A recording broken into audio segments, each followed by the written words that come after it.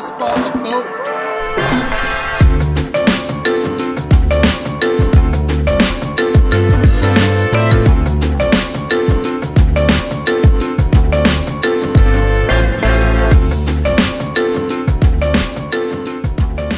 Very expensive. That's about a three thousand dollar cart right there. Okay, got it. always been stuck with this job. Because your luggage is like 800 pounds. What do you stick like? hun- Whoa, whoa, whoa, whoa, whoa! Watch that uh-huh. hole. Woo. And that's why people Crazy. invest in travel gear.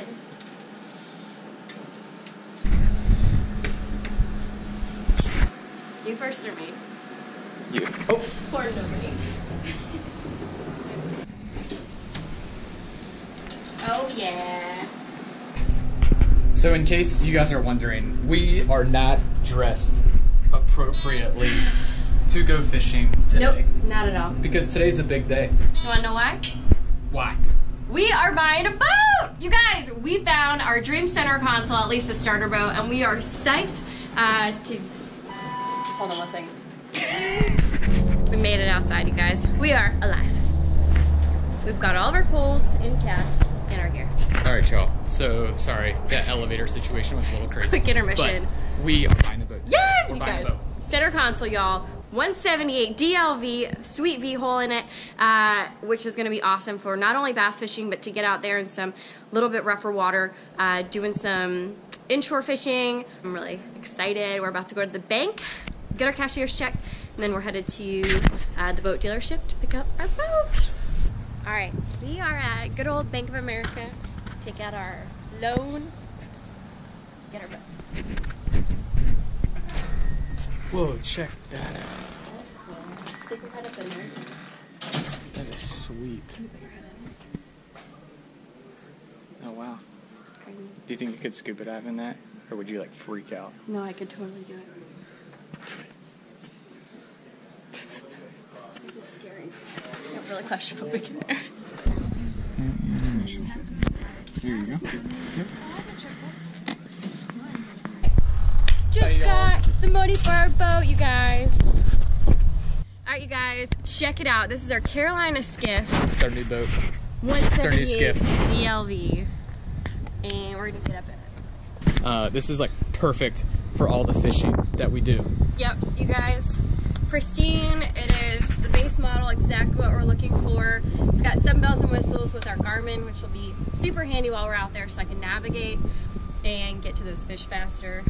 Um, trolling motor is perfect for getting out there for some bass fishing, and basically this is really all we need to get, to get out there and catch fish. That's right. Inshore, flounder, drum, tarpon. When we come down to Florida, we can take this thing out right in the flats. Um, we can even take it off because it's got like a deeper kind of uh, Hull. Hole to it. Yeah, exactly. There we go. We're learning the boat lingo. Hull, beam, port side, starboard, You all that know all stuff. It- yeah, yeah, yeah. so, yep.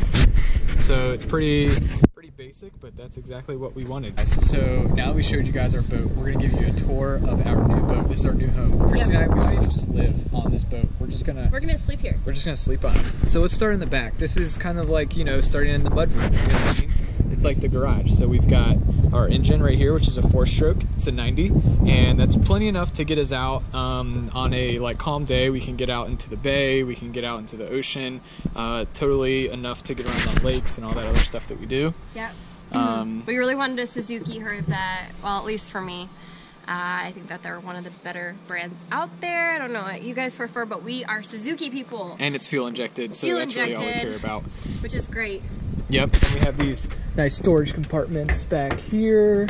Yep, got our Um, live well. got the live well. We've got all of our live program.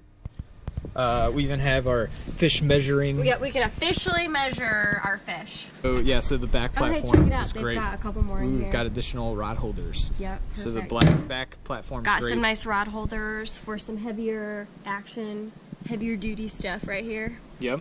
And then uh, we've got our. This is our uh, most center consoles have seats like this, where it kind of doubles over as like we've got our um, Cooler our here. cooler right here. It's so gonna hold all of our fish and That's right. my snacks. So when we gaff our cobia right here, and we just go boom straight into the cooler right there. Um, So kind of our main, uh, the center console here as Kristi is modeling right here.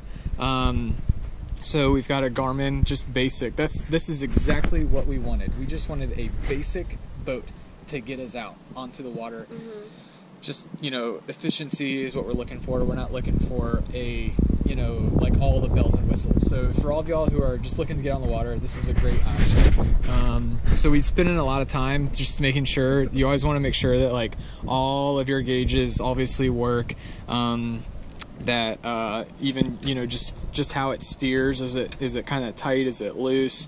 Um, we've got all of our accessories. Again very basic. We want to minimize things that can break and just maximize fish catching potential. So a solid boat that floats with you know minimal accessories. So the things that you do want however are this. You do want a radio um, you do want the right safety equipment. So we do have that on there. Um, and that's pretty much it right here for the middle middle piece. And then we've got just kind of like our rod holders right here so that's nice. And moving up to the front We've um, just got two basic storage units up here, which is great for uh, don't know. Storage. Yeah, for storage. that's it. Yep. And then of course we've got our you know fishing platform up here. We can remove that seat and fish from that. And the trolling motor will get installed put up there for the iPilot. So that's pretty much it people for aboarding the USS Dolphin Dancer. that's right we christened the dolphin dancer Yes. so Oh yeah, we didn't tell y'all what we named it yet. that's right Jeff named it.